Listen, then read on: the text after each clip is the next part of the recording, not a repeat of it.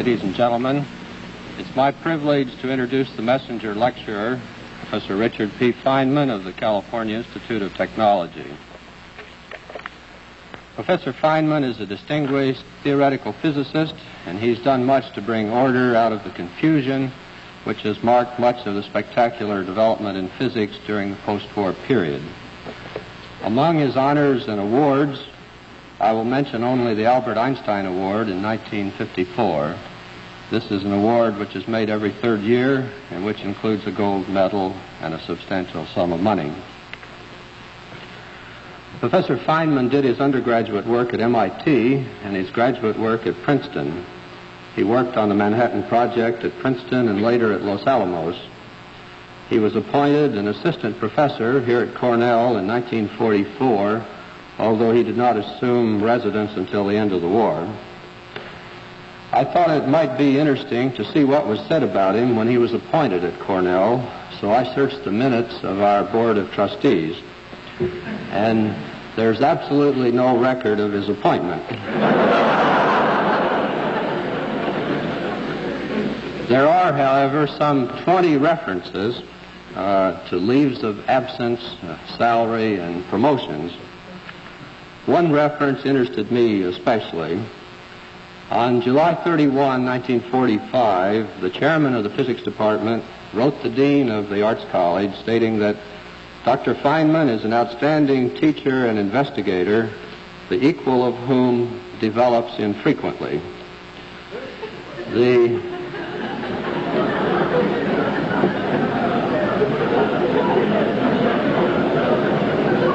the chairman suggested that an annual salary of $3,000 was a bit too low for a distinguished faculty member and recommended that Professor Feynman's salary be increased $900. the dean, in an act of unusual generosity and with complete disregard for the solvency of the university, crossed out the $900 and made it an even thousand. you can see that we thought highly of Professor Feynman even then. Feynman took up residence here at the end of 1945 and spent five highly productive years on our faculty. He left Cornell in 1950 and went to Caltech, where he has been ever since. Before I let him talk, I want to tell you just a little bit more about him. Three or four years ago, he started teaching a beginning physics course at Caltech, and the result has added a new dimension to his fame. His lectures are now published in two volumes, and they represent a refreshing approach to the subject. In the preface of the published lectures, there's a picture of Feynman performing happily on the bongo drums. My Caltech friends tell me that he sometimes drops in on the Los Angeles night spots and takes over the work of the drummer, but Professor Feynman tells me that that's not so. Another of his specialties is safe cracking. One legend says that he once opened a locked safe in a secret establishment, removed a secret document, and left a note saying, Guess who? I could tell you about the time that he learned Spanish before he went to give a series of lectures in Brazil, but I won't.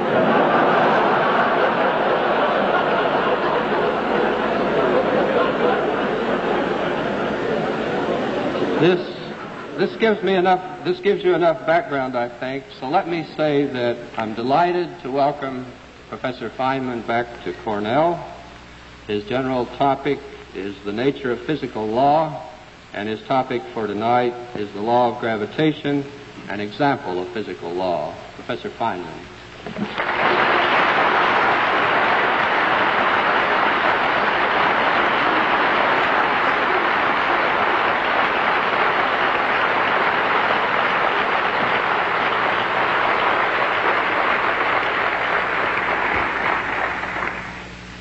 It's odd, but in the infrequent occasions when I've been called upon in a formal place to play the bongo drums, the introducer never seems to find it necessary to mention that I also do theoretical physics.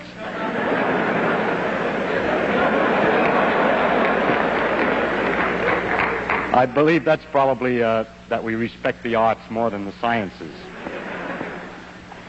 The artists of the Renaissance said that man's main concern should be for man. And yet, uh, there are some other things of interest in the world. Even the artists appreciate sunsets and the ocean waves and the march of the stars across the heavens. And there is some reason then to talk of other things sometimes. As we look into these things, we get an aesthetic pleasure from them directly on observation. But there's also a rhythm and a pattern between the phenomena of nature, which isn't apparent to the eye, but only to the eye of uh, analysis. And it's these rhythms and patterns which we call physical laws. What I want to talk about in this series of lectures is the general characteristics of these physical laws. That's even another level, if you will, of higher generality over the laws themselves. And it's uh, really all I am talking about is nature as seen as a result of detailed analysis. But only the most overall general qualities of nature is what I mainly wish to speak about. Now, such a topic has a tendency to become too philosophical because it becomes so general that uh, a person talks in such generalities that everybody can understand him, and it's considered to be some deep philosophy. If you, however, I would like to be very rather more special and I would like to be understood in an honest way rather than in a vague way to some extent. And so, if you don't mind, I'm going to try to give, instead of only the generalities, in this first lecture, an example of physical law, so that you have at least one example of the things about which I'm speaking generally. In this way, uh, I can use this example again and again to give an instance to make a reality out of something which would otherwise be too abstract. Now, I've chosen for my special example of physical law to tell you about the theory of gravitation, or the phenomena of gravity. Why I chose gravity, I don't know. I whatever I chose, you would have asked the same question.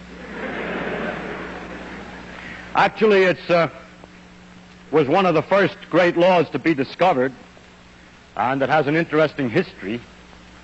You might say yes, but then it's old hat. I would like to hear something about uh, science, more modern science. More recent, perhaps, but not more modern. Modern science is exactly in the same tradition as the discoveries of the law of gravitation. It is only more recent discoveries that we would be talking about. And so I have no, I do not feel at all bad about telling you of the law of gravitation because I am in describing its history and the methods, the character of its discovery and its quality, talking about modern science, completely modern. This law has been called the greatest generalization achieved by the human mind.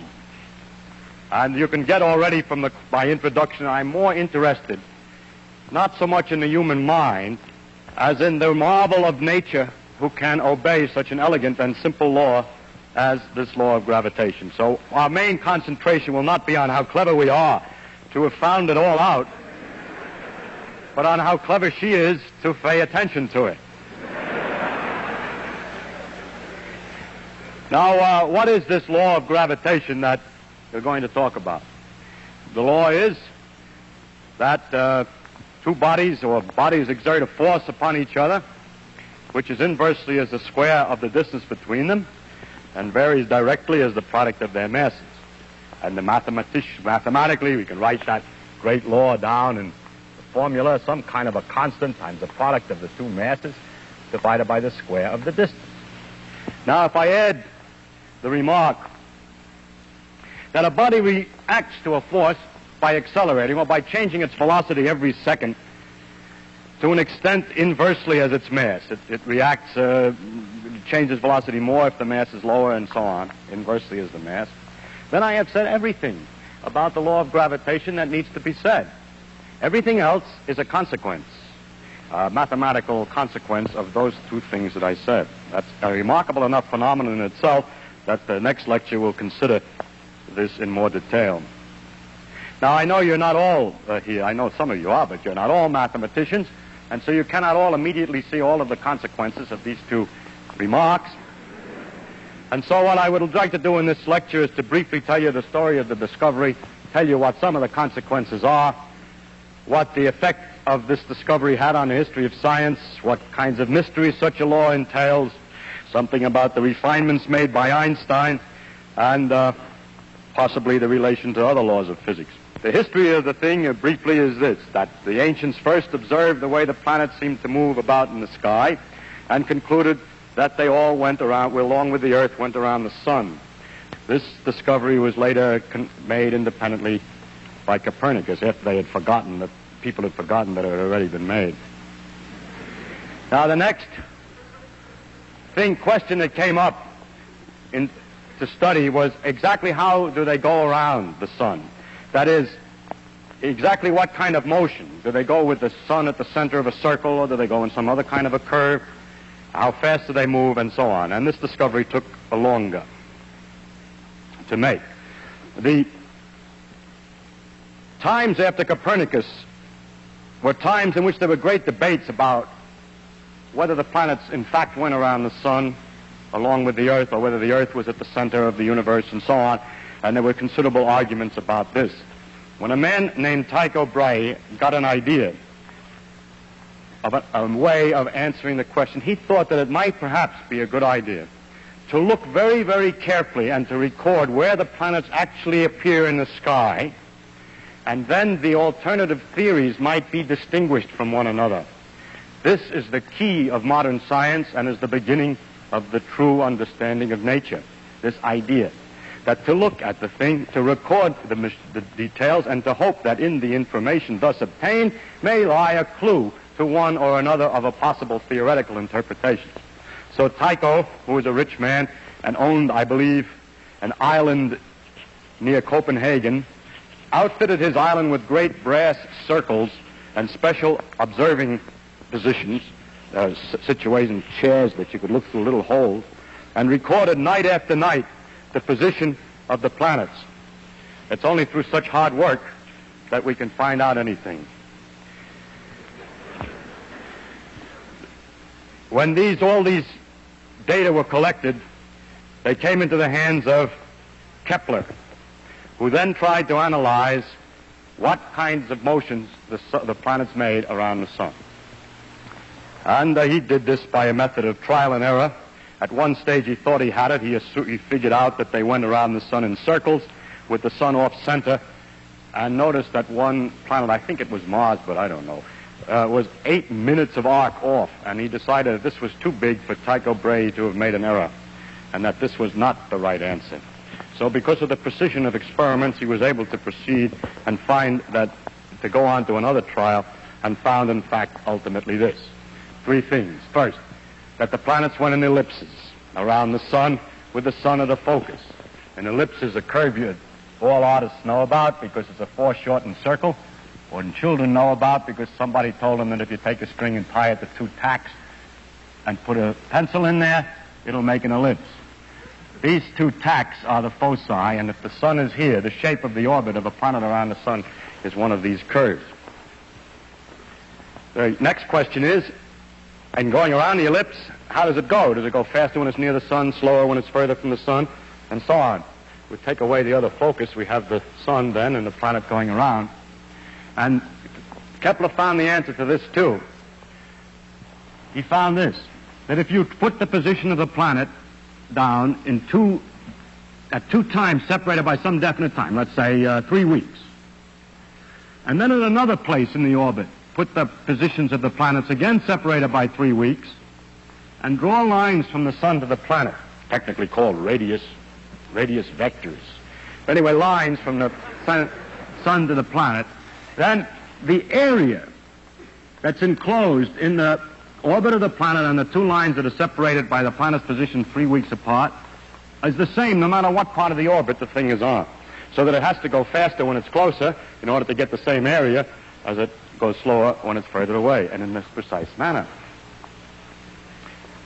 Some several years later, he found the third rule, and uh, that had not to do with the exactly motion of a single planet around the sun, but related the various planets to each other.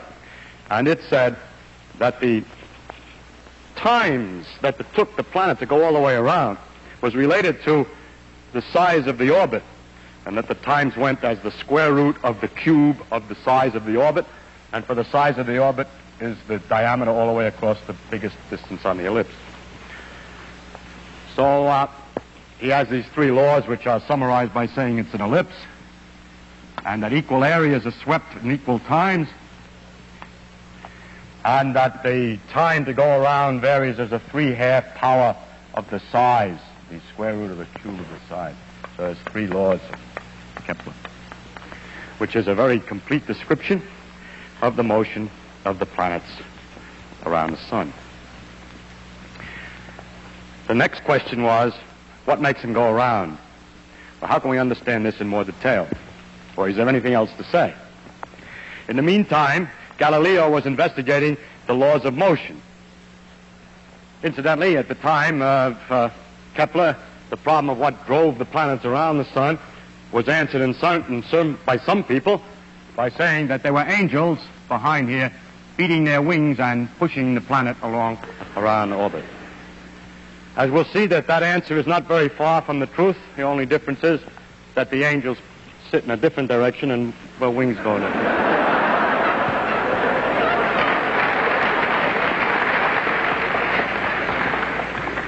But the point that the angels sit in a different direction is the one that I must now come to. Galileo, in studying the laws of motion and doing a number of experiments to see how balls roll down inclined planes and pendulums swung and so on, discovered an idealization, a great principle called the principle of inertia, which is this. That if a thing has nothing acting on it, if an object has nothing acting on it and is going along at a certain velocity in a straight line, it will go at the same velocity at exactly the same straight line forever. Unbelievable though that may sound to anybody who has tried to make a ball roll forever, the idealization did, is correct, and that if there were no influences acting, such as the friction on the floor and so on, the thing would go at a uniform speed forever. The next point was made by Newton, who discussed the next question, which is when it doesn't go in a straight line, then what? And he answered this way, that a force is needed to change the velocity in any manner. First, for instance, if you're pushing it in a direction that it moves, it will speed up. If you find that it changes direction, then the force have, must have been sideways. And that the force can be measured by the product of two effects.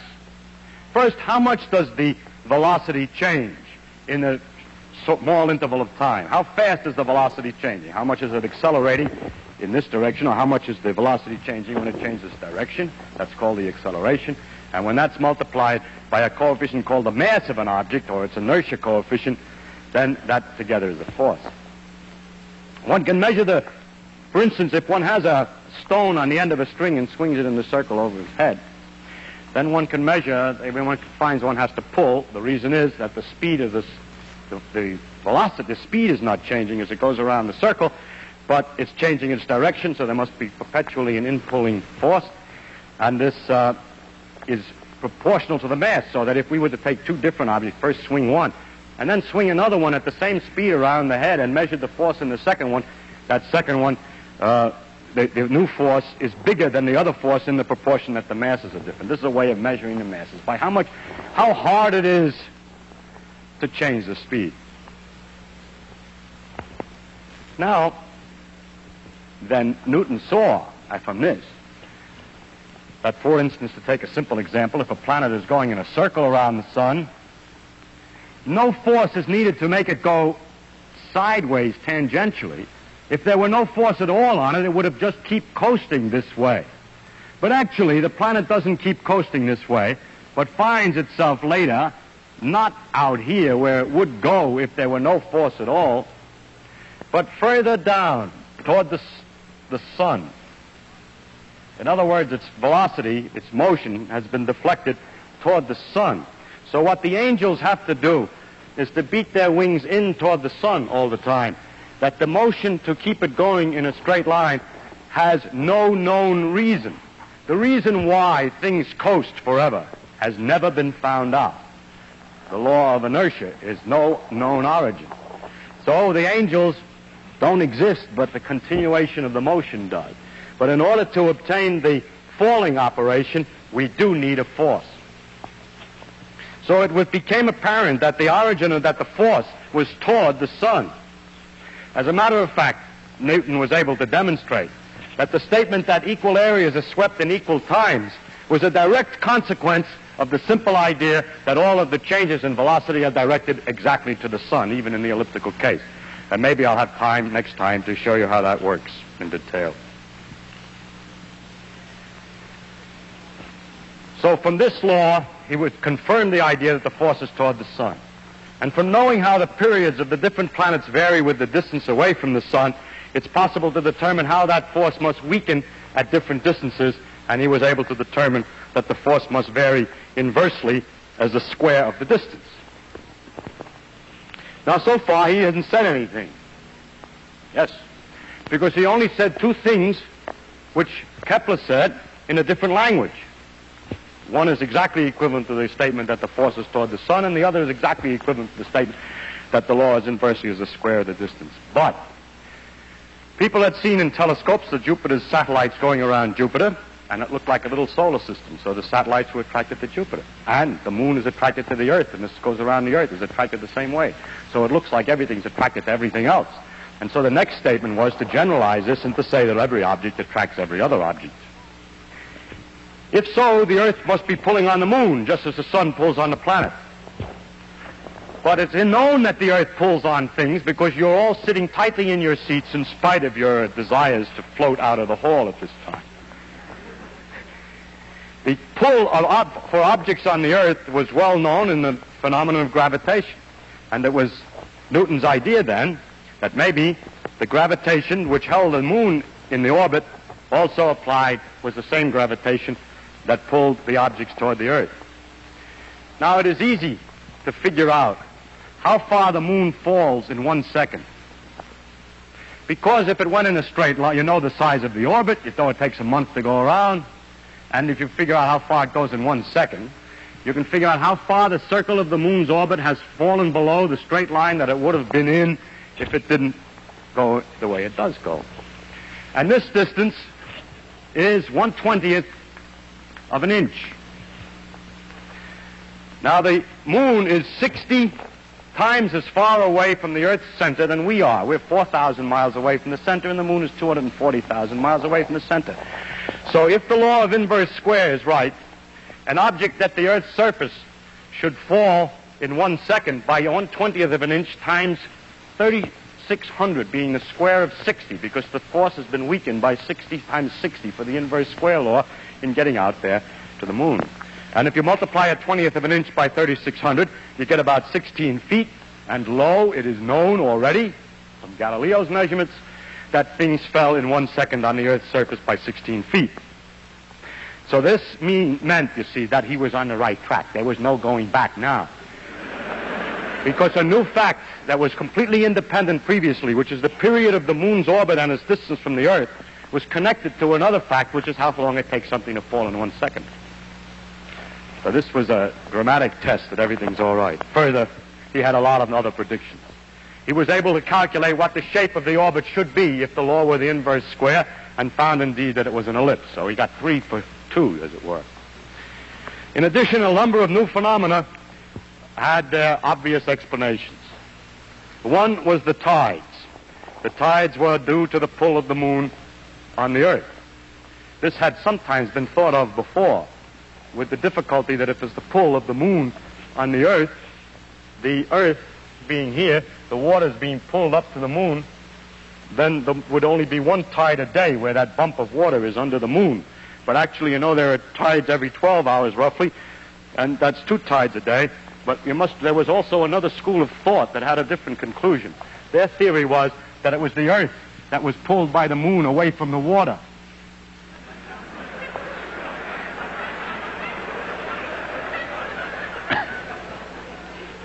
So actually Newton was the first one to realize what actually was going on. That the force of the moon on the earth and on the water is the same at the same distance and that the water here is closer to the moon, and the water here is further from the moon than the Earth, than the rigid Earth, so that the water is pulled more toward the moon here, and here is less toward the moon than the Earth, so that it's a combination of those two pictures that makes a double tide. Actually, the Earth uh, does the same trick as the moon. It goes around a circle, really. I mean, the force of the moon on the Earth is balanced, but by what? By the fact that just like the moon goes in a circle to balance the Earth's force, the Earth is also going in a circle. Actually, the center of the circle is somewhere inside the Earth. It's also going in a circle uh, to balance the moon. So the two of them go around a common center here. And if you wish, this water is thrown off by centrifugal force more than the Earth is, and this water is attracted more than the average of the Earth. At any rate, the tides were then explained in the, in the fact that there were two a day. A lot of other things became quite clear. Why the Earth is round because everything gets pulled in. And why it isn't round? Because it's spinning so that the outside gets thrown out a little bit and it balances. And why the sun and moon are round, and so on. Now, as the science developed and measurements were made ever more accurately, the tests of Newton's law became much more stringent. And the first careful tests involved the moons of Jupiter by careful observations of the way they went around over a long period of time, one could be very careful to check that everything was according to Newton. And turned out not to be the case. The moons of Jupiter appeared to be first uh, get sometimes to eight minutes ahead of time and sometimes eight minutes behind time schedule, where schedule is the calculated values according to Newton's laws. It was noticed that they were ahead of schedule when they were close when New- Jupiter was close to the Earth and behind schedule when it was far away, a rather odd circumstance. And Mr. Römer, having confidence in the law of gravitation, came to an interesting conclusion that it takes light some time to travel from the moons to the Earth, and that what we're looking at when we see the moons are not how they are now, but how they were the time ago that it took the light to get here. Now, when Jupiter's near us, it takes less time for the light to come, and when Jupiter's further, it takes longer time. So he had to correct the observations for the differences in time. And by the fact that they were this much too early or that much too late, was able to determine the velocity of light. This was the first demonstration that light was not an instantaneously propagating material. I bring this particular matter to your attention because it illustrates something. That when a law is right, it can be used to find another one.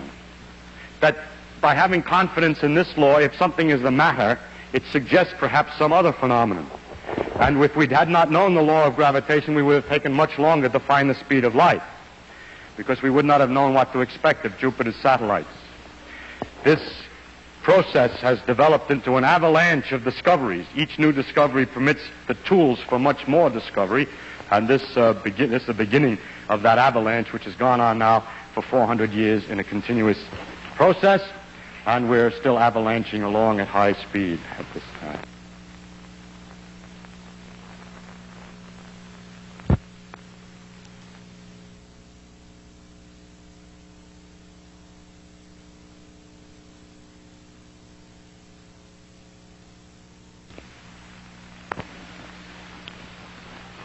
Another problem came up the planets shouldn't really go in ellipses because, according to Newton's laws, they're not attracted only by the sun, but also they pull on each other a little bit, only a little bit, but a little bit is something, and will alter the motion a little bit. So Jupiter, Saturn, and Uranus were big planets that were known, and the calculations were made as to how slightly different than the perfect ellipses of Kepler the planets ought to be going, Jupiter, Saturn, and Uranus, by the pull of one on each other. And when they were finished, the calculations, I mean, and the observations, it was noticed that Jupiter and Saturn went according to the calculations, but that Uranus was doing something funny. Another opportunity for Newton's laws to be found wanting, but courage.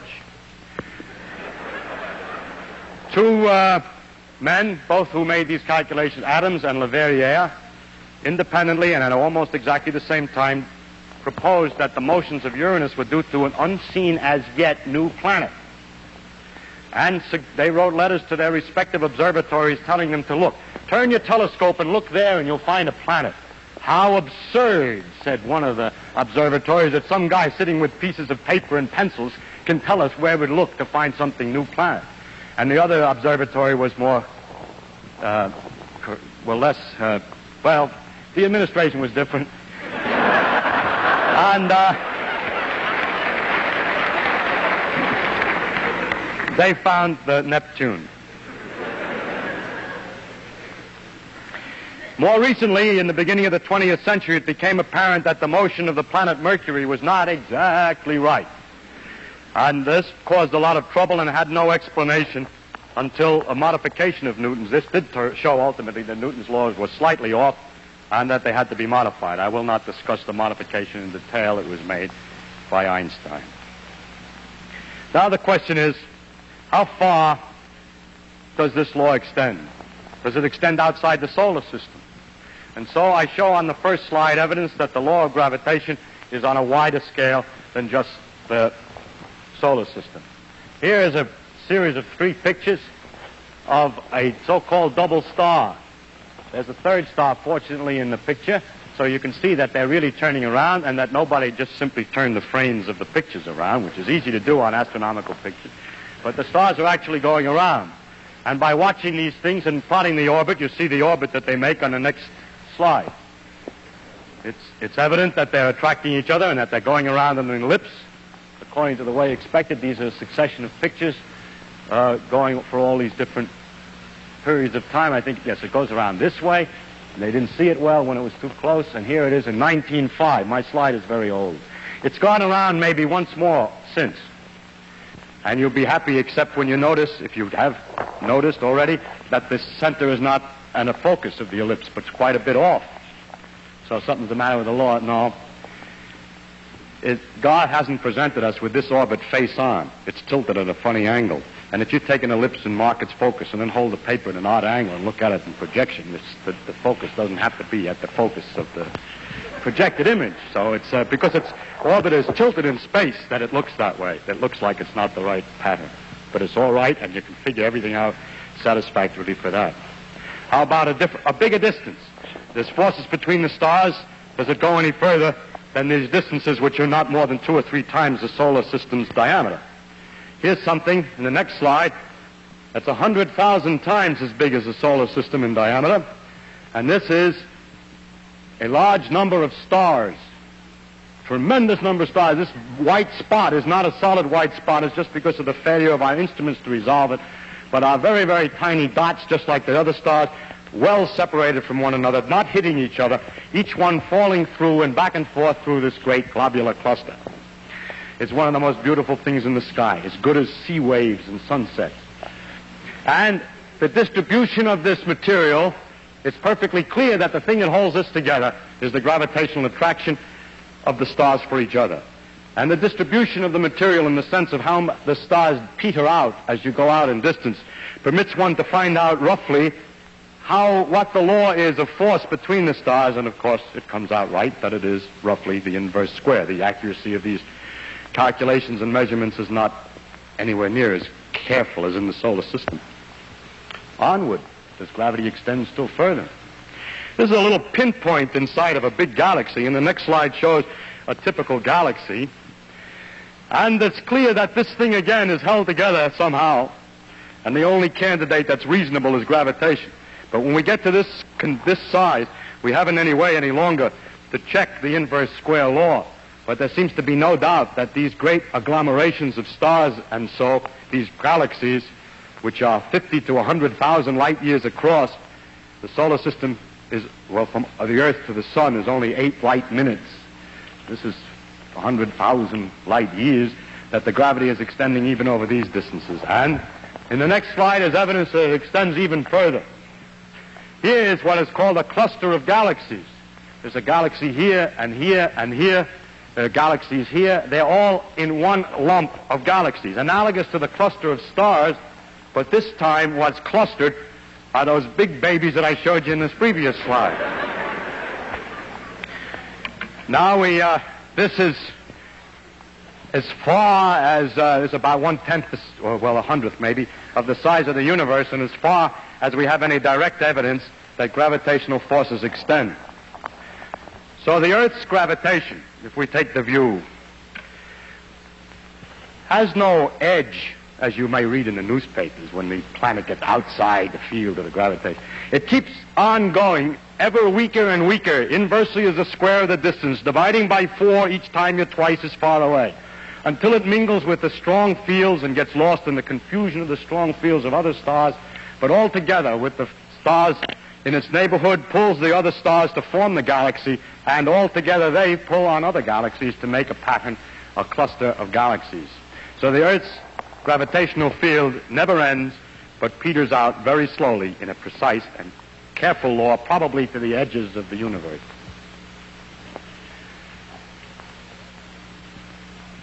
The law of gravitation is different than many of the other, well, is, is very important in the economy or in the machinery of the universe. There are many places where gravity has its practical applications as far as the universe is concerned. But atypically, among all the other laws of physics, gravitation has relatively few practical applications. I mean, the new knowledge of the law it has a lot of applications. It keeps people in their seats and so on. But it has few, the knowledge of the law has few practical applications, relatively speaking, compared to the other laws. This is one case in which I picked an atypical example. It is impossible, by the way, by picking one example of anything, to avoid picking one which is atypical in some sense.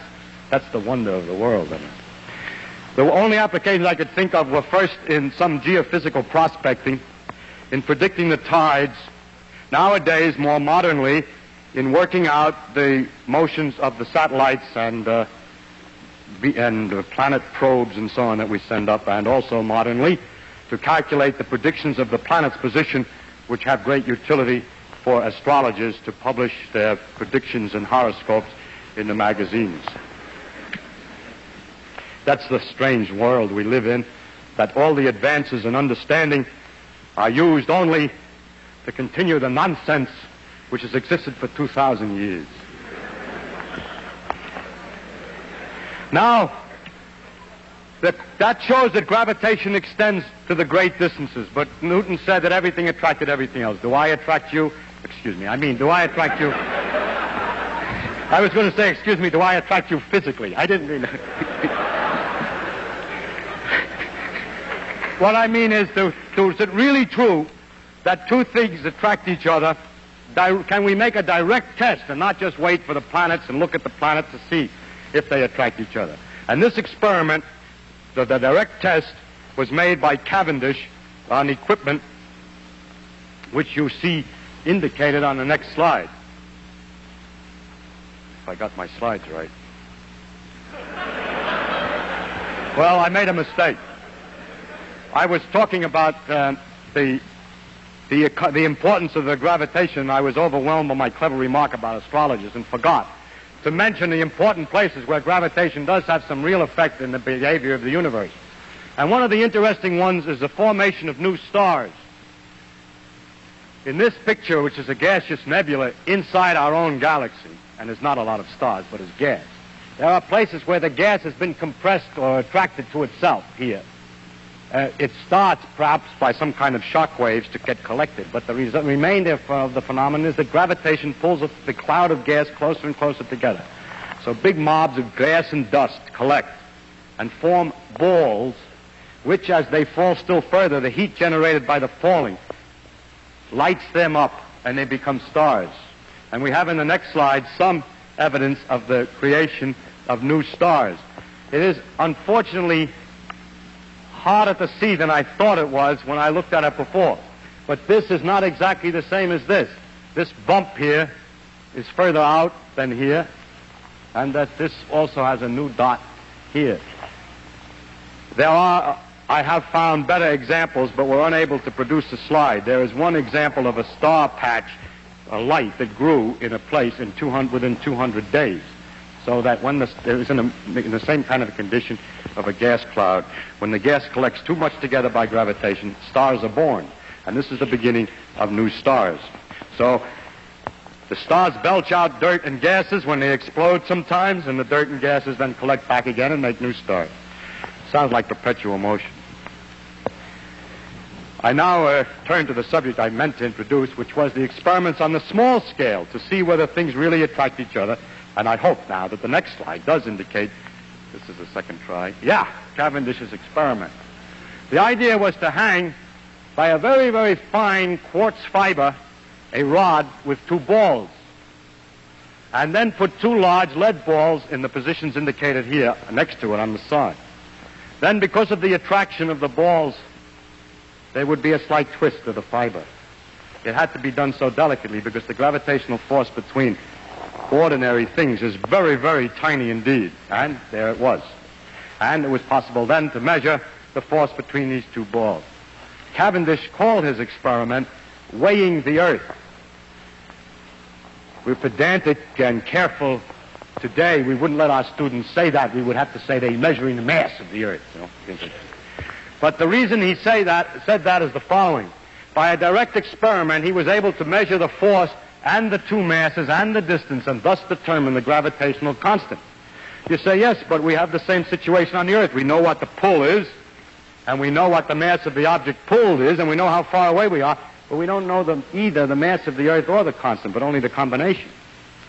So by measuring the constant and knowing the facts about the pull of the Earth, the mass of the Earth could be determined. So indirectly, this experiment was the first determination of how heavy or how massive is the ball on which we stand. I, it's a kind of an amazing achievement to find that out, and I think that's why Cavendish named his experiment that way instead of determining the constant in the gravitational equation, weighing the Earth. Oh. He incidentally was weighing the sun and everything else at the same time. Because the pull of the sun is known in the same manner. Now, one, one other test of the law of gravitation is very interesting, and that is the question as to whether the, uh, the pull is exactly proportional to the mass. If the pull is exactly proportional to the mass and the reaction to forces, the motions induced by forces, the changes in velocity, are inversely proportional to the mass, that means that two objects of different mass will change their velocity in the same manner in a gravitational field. Or Two different things, no matter what their mass, in a vacuum, will fall the same way toward the Earth. that's Galileo's old experiment from the Leaning Tower. I took my young son of two and a half to the Leaning Tower of Pisa, and now he, every time a guest comes, he says, Leaning Tower.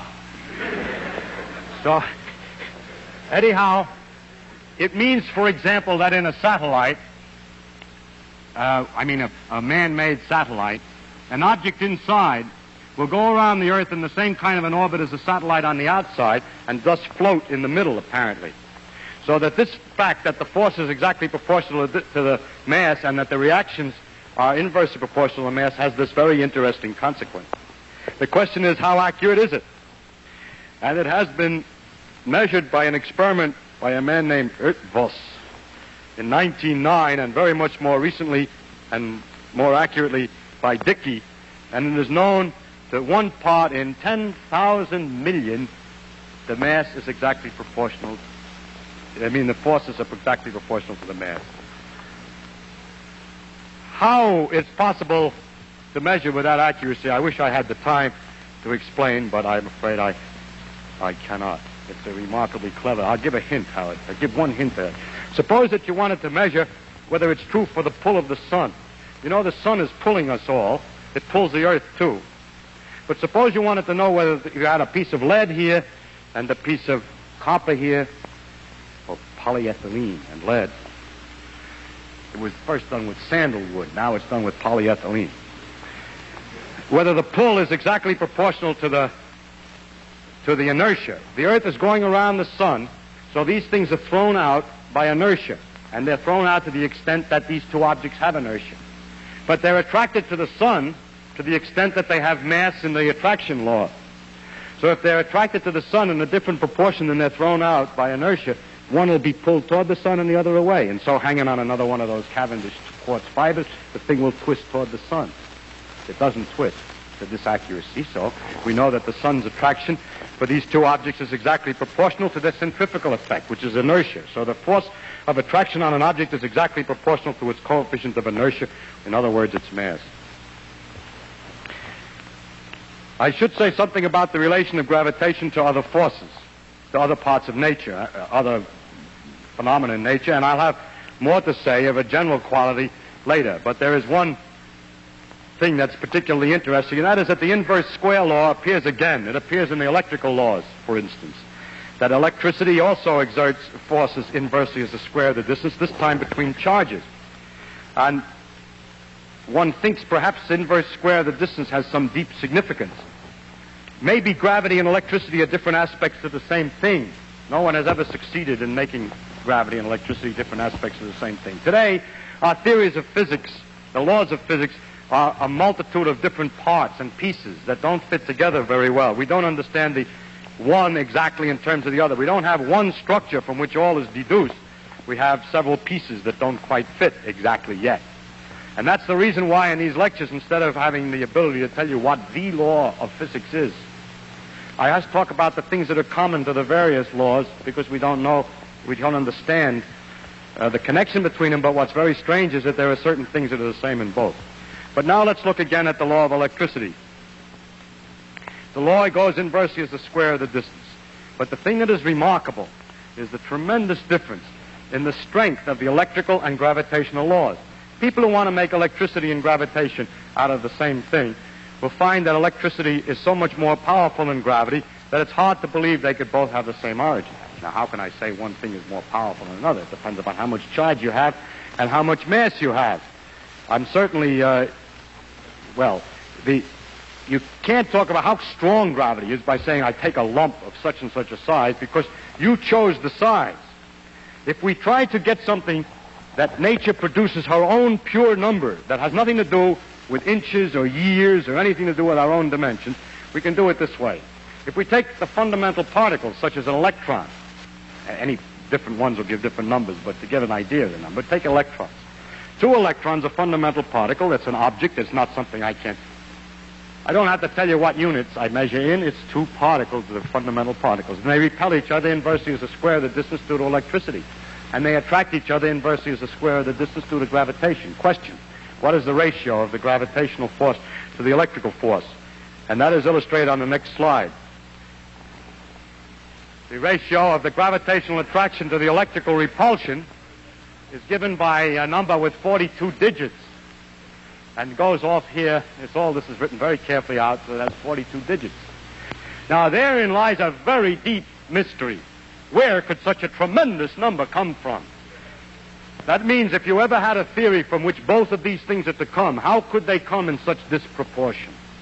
From what equation has a solution which has, for one, two kinds of forces, an attraction and a repulsion, with that fantastic ratio? People have looked for such a large ratio in other places. They're looking for a large number. They hope, for example, that there's another large number. And if you want a large number, why not take the diameter of the universe to the diameter of a proton? Amazingly enough, it also is a number with 42 digits.